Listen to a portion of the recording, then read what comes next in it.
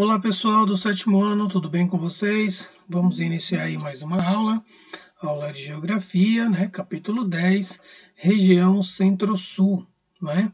Vamos conhecer os aspectos geográficos da região Centro-Sul, né? falar também um pouco da economia, da população, né? o potencial econômico, é, como que o território se desenvolveu, como que os estados dessa região Centro-Sul se desenvolveram, né? e assim entender um pouco é, essas características é, que, influ, que influenciam né, a vida das pessoas, que fez surgir aí também é, uma grande é, expansão né, do território brasileiro. Então vamos ver aí essa região é, centro-sul, certo?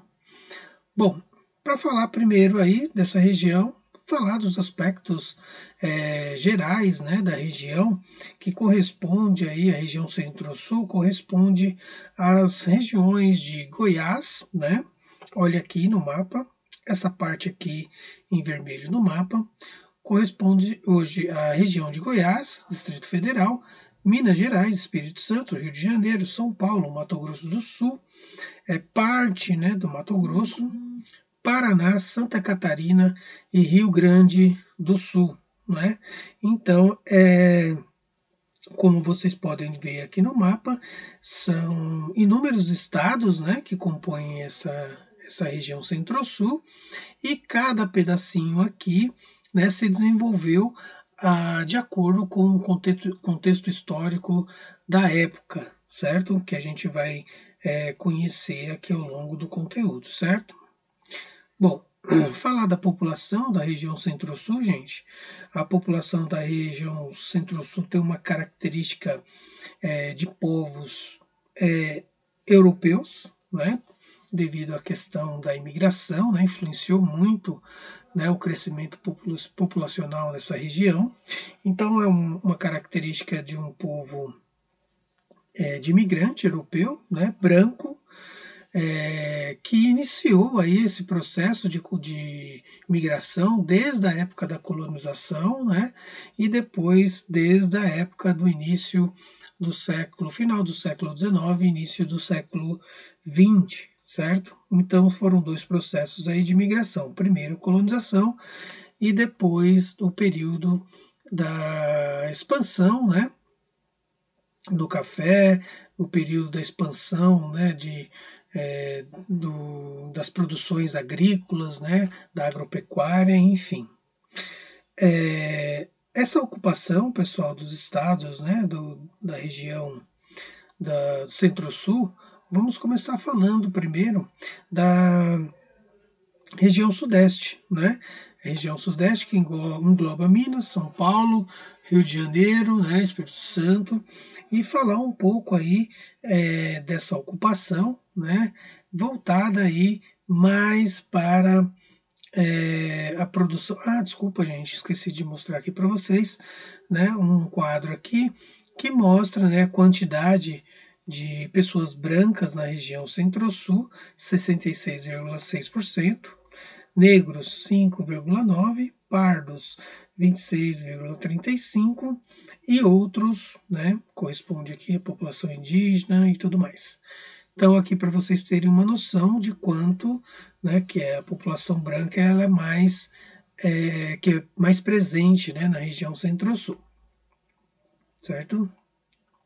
Bom, falar da ocupação, como via já iniciando falar com vocês, a ocupação dos estados da região sudeste, não é? São Paulo, Minas, Espírito Santo, Rio de Janeiro, região sudeste.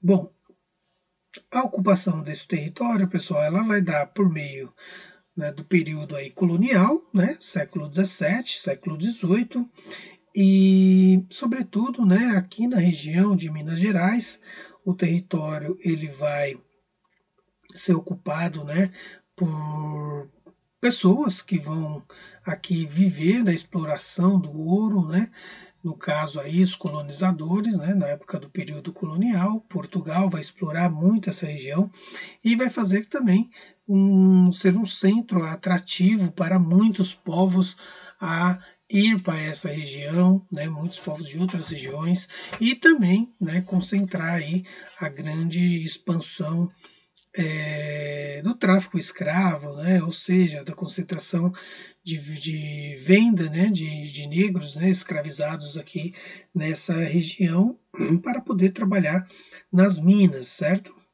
Bom, Primeiro, inicialmente, quem vai explorar esse território, quem vai desbravar esse território, tanto São Paulo quanto Minas, né, parte de, de Goiás, Mato Grosso, né, mas aqui em região, em especial a região centro, a região sudeste, São Paulo e Minas, os bandeirantes vão ser os responsáveis aí, né, por fazer inúmeras é, trilhas na região e em busca né, de no primeiro momento de escravo, de indígenas fugitivos, né, em busca de escravizar é, indígenas e também em busca de outras riquezas que o território pudesse é, fornecer, né, no caso aí o ouro, né, tinha uma ideia já dos bandeirantes explorar esse território e, e assim, né, ter o objetivo de encontrar ouro também.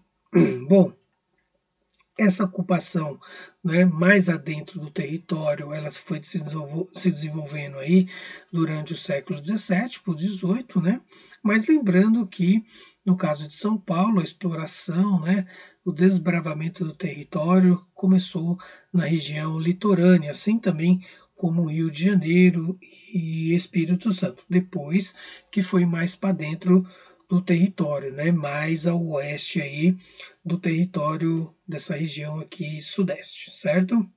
Bom, então as regiões ocupadas Minas Gerais, São Paulo, Rio de Janeiro, dando destaque aí, né, para, para essas três regiões, é, podemos aí observar um grande crescimento do fluxo né, populacional né, que se desenvolveu por meio da economia, né, no caso aí Minas Gerais com ouro, né, depois aí século finalzinho do século XIX para o XX o café em São Paulo, Rio de Janeiro também o café, né, então vai ser um, importante um, vai ser um importante eixo né, econômico né, por meio que vai ser feito aí por meio do desenvolvimento econômico, ou seja, o crescimento populacional vai derivar desse é, crescimento econômico, dessa produção agrícola, né? ou seja, a produção do café em São Paulo, finalzinho do século XIX, é,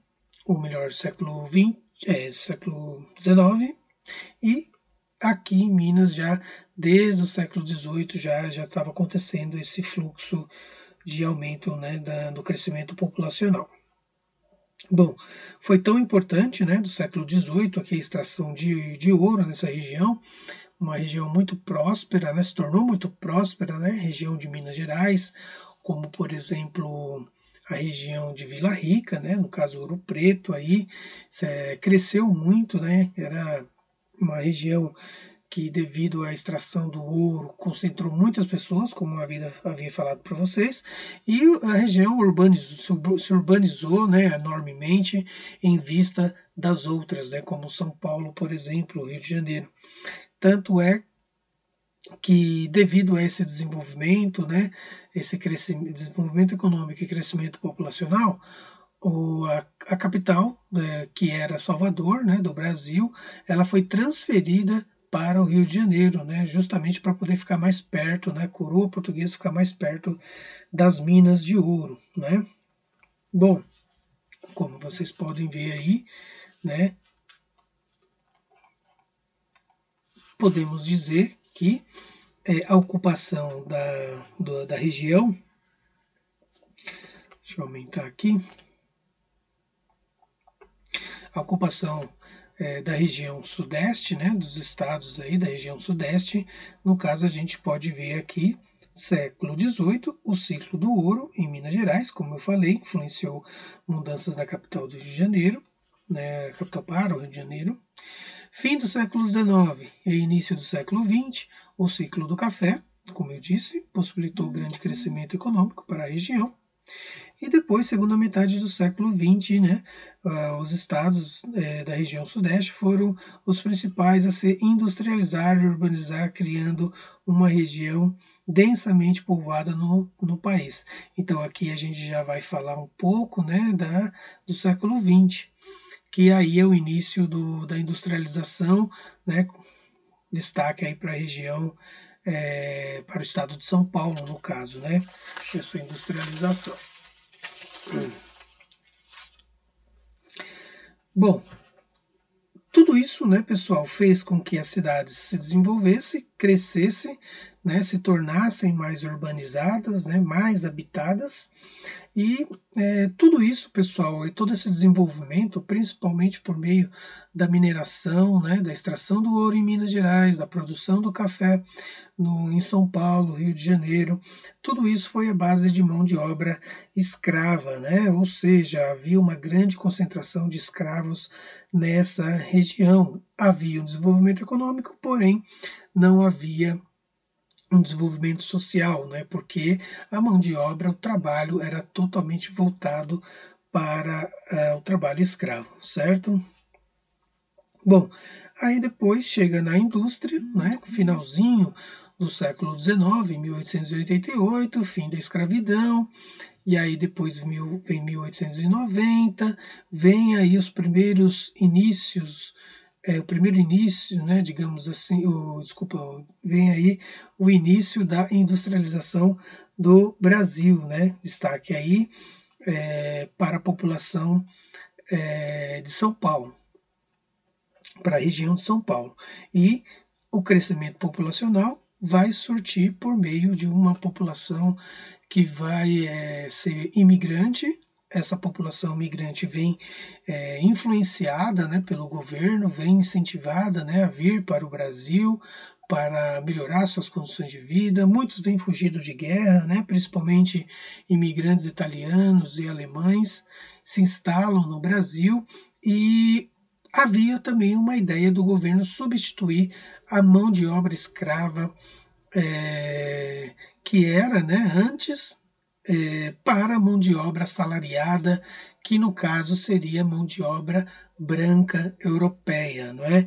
Então a questão aí do racismo, do preconceito, começou a fazer parte da história do Brasil já, mesmo né, nesse período é, de século, finalzinho aí de século XIX, não é? Bom, tinha um interesse também da sociedade brasileira não ficar com essas marcas né, da escravidão. Havia uma intenção de provocar na sociedade um branqueamento da sociedade, né? então, por isso também a ideia de atrair esses migrantes para o Brasil. Né? Esse processo, um processo de imigração, com, com isso um processo de embranquecimento também da sociedade, certo? Bom, falar da ocupação agora do estado do Rio Grande do Sul, né? que é composto aí por Paraná, Santa Catarina e Rio Grande do Sul. Então são três estados que ficam bem abaixo aí, né, do nosso território brasileiro, né? E teve aí um grande destaque já no início, né, do período colonial, que não iniciou, digamos assim, por uma ocupação portuguesa, né? Porque o Tratado de Tordesilhas ele, ele impedia os portugueses de adentrar essa região. Essa região era praticamente é, espanhola, né? praticamente não era espanhola. E os espanhóis que começam então a entrar nessa região e desenvolver ali um processo todo de ocupação. E essa ocupação vai se dar por meio das missões é, do século durante o século XVII e também no século XVIII.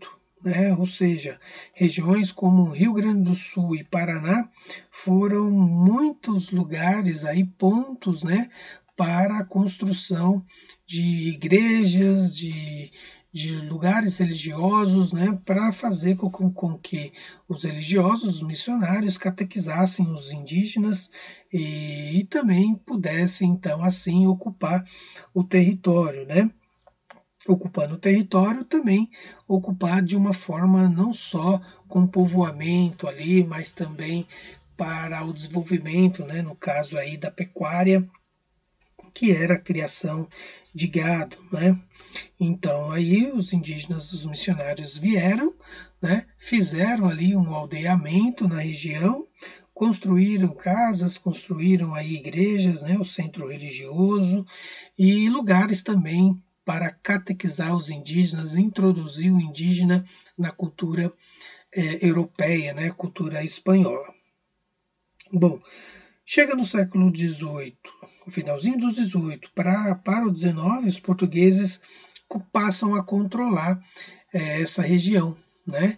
Então, olha aí a região do Rio Grande do Sul, todos esses pontinhos aqui é, vermelhos, trata-se de missões jesuítas, jesuíticas, né? E no Paraná também fizeram muitas é, missões ali. E a área em verde claro, ocupada por povos tupi-guaranis, né? muitos indígenas aqui, e a verde escuro, é, áreas naturais de ocorrência de erva mate, ou seja, era o plantio, o desenvolvimento é, desse plantio da, da erva mate, no caso aí do chá, né? que, que é feito aí o tererê, né? enfim. Bom, gente, então chega no século XVIII para o XIX, o Brasil passa a controlar definitivamente essa região, justamente porque era um território que estava na mão da igreja, só que ali né, é, a região estava ocupada né, por indígenas, é, e aí então o Brasil ele, por meio do Tratado de Madrid, é, se sentiu pertencente ao território, porque aos poucos os brasileiros começaram a adentrar esse território e assim desenvolver mais, né, é, é, desenvolver mais é, no sentido da agropecuária, não é? Então o Brasil incentivou colonizadores ali a, a, a criar gado, né, investir na produção de carne de charque. Então esse território, essa região passa então a ser controle do Brasil, porque o Tratado de Madrid dizia o seguinte: o território é, é, é da Espanha, porém a Espanha não ocupa, não, é? não desenvolve. Então isso era muito importante aí. Então a Espanha não, não ocupando, não desenvolvendo, né, no sentido a trazer prosperidade, digamos assim, né? ou seja, não trazer nenhum desenvolvimento ali marcante né, para a economia, os portugueses então que sentiram no direito de então invadir, ocupar, né, e desenvolver o território, né, para inúmeras atividades. Então começaram então a exigir esse território. O território então, portanto, é de quem ocupa e não de quem é, tem o território só para dizer que tem, sem ter um mínimo ali de desenvolvimento e ocupação é, nele, não é? Então, os portugueses é, faz isso, consegue, não é? é e aí, então, é, como eu falei, a coroa portuguesa vai destinar, né, vai influenciar, vai ajudar a conceder terras ali na região para o, para grandes criadores de gado, né? então vão ser construídos ali grandes latifúndios, grandes proprietários de terras e vão começar a produzir a carne de charque na região. Bom, chegando ao século XIX e XX, é, a região também passa por um processo de imigração, né? No caso aí, é, Rio Grande do Sul vai receber muitos imigrantes, né? devido a essa questão também de fazer o território ser ocupado, né? de fazer o território é, é, ter, né, digamos assim, um povoamento ali. Então, o Rio Grande do Sul recebe muitos imigrantes alemães, é, italianos, né? Santa Catarina recebe muitos italianos também. É, Paraná, poloneses, ucranianos, russos, poloneses, né, vão passar a habitar é, essas regiões da região sul, né? E todos vão se voltar para o trabalho rural, né? O trabalho na agrícola, digamos assim. E aí então esses migrantes aí no sul começam então, digamos assim, é, a desenvolver o plantio, né? Plantio da uva, o plantio é, de muitos é, de erva mate, o plantio, a criação de gado, né? Tudo assim, digamos, de início para a subsistência, né? E para um pequeno é, comércio local ali. Bom, tem outro detalhe também, né? Os migrantes do sul, é, eles saem também da região sul e vão para outras regiões, isso já mais da, depois da metade né, do século XX, 1970 também, há um grande fluxo migracional das população, da população sulista, né, que vai para a região mais centro-oeste do, do país, como por exemplo Mato Grosso, Mato Grosso do Sul, Rondônia, Goiás, é, justamente por causa de em busca de emprego, melhores oportunidades e no caso aí a região é, ali, né, mais a, ao centro do Brasil, né, essa região, principalmente onde é Brasília, onde é Goiás hoje, muitos imigrantes foram para lá para poder né, trabalhar na construção de Brasília, né, construção da sede do governo que foi desenvolvida na época do período de Juscelino Kubitschek. Depois também parte, né, é, outro, tem outro deslocamento né, de populações que vão para Tocantins, depois vão para o Piauí, né, quando começa aí um outro desenvolvimento econômico, de uma outra atenção para o desenvolvimento econômico voltado para a plantação de soja na região. Né? Então, muitos agricultores vão para essas regiões em busca de trabalho né? no plantio da soja, nessa região aí onde é hoje o Tocantins e o Piauí. E aí a gente fala um pouco aqui da ocupação na região centro-oeste. A região centro-oeste vai se dar por meio de uma ocupação é, feita pelos bandeirantes, que vai iniciar aí no século XVII para XVIII. Essa ocupação se dá em dois momentos, né? Primeiro, é, feitas aí, né, no caso pelos bandeirantes, que é o interesse pela mineração, pela e depois no segundo momento pela agropecuária, quando começa a ter o fim do ciclo do ouro, começa a ter um interesse pelo território para ocupar e é, fazer o desenvolvimento ali do plantio e da criação de gado, né? O plantio aí voltado para a produção de erva, erva mate também. Como vocês podem ver aqui, né? Essa foto aqui, o plantio da erva mate, né? Tinha também muitos né, que foram é, para, o, para outros destinos também, né? no caso aí não se atrelou somente à, região de Mato Grosso, mas também foram para a região ali de onde era Goiás, né? depois da criação do Distrito Federal, né? como eu já havia falado para vocês. Bom, quando chega em 1970, com a construção, construção de Brasília, não foram só os sulistas né, que foram para essa região. Vieram pessoas do Nordeste, né, da região do Sudeste, mas enfim, é, não ficou só concentrado é, no interesse sulista, né, dos povos de Rio Grande do Sul e Santa Catarina, né.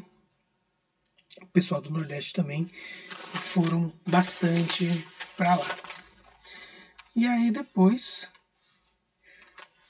no século XX, ocorre aí uma outra grande expansão, né? Uma, uma, um outro grande desenvolvimento que foi feito para escoar a produção agrícola né, dessas regiões do centro do, do centro-sul aqui, né, região aqui, ou melhor, do centro-oeste, né, que foi feita é, muitas estradas de ferro nessa região noroeste do Brasil, e então foi é, o Triângulo Mineiro, principalmente, foi uma região que se desenvolveu muito, né, por meio das atividades agrícolas e, e por meio da atividade pecuarista. E aí, então, começa a construir né, a rodovia, a estrada de ferro, já conhecida como Noroeste Brasil, né, para poder ligar né, essas regiões aos outros grandes centros e assim distribuir com, com maior rapidez em grande quantidade né, de, de produção agrícola para outras regiões, para outros estados. E Triângulo Mineiro, nessa região aqui, né, onde está Minas, né, mais aqui ao oeste, que foi beneficiada, digamos assim. Né? Então é isso, pessoal. Vamos parar por aqui nessa aula. E aí, próxima aula, vamos falar sobre a questão socioeconômica é, da região Centro-Sul, ok? Então é isso, faça suas anotações no caderno, dúvidas anotem também, que aí no chat depois a gente tira essas dúvidas e também faremos uma atividade de acordo com o que vimos hoje. Tudo bem? Então é isso, até mais. Tchau, tchau.